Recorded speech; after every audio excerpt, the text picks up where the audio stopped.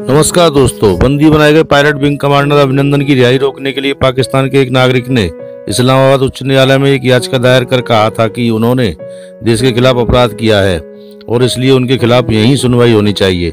नियंत्रण रेखा पर दोनों देशों की वायुसेना के बीच हुए संघर्ष के दौरान बुधवार को मिग ट्वेंटी पाकिस्तान की सीमा में गिर गया था।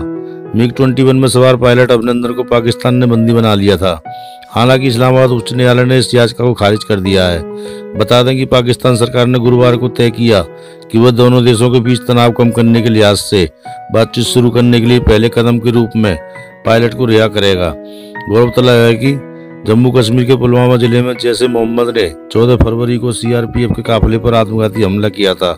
इसमें 40 जवान शहीद हो गए थे।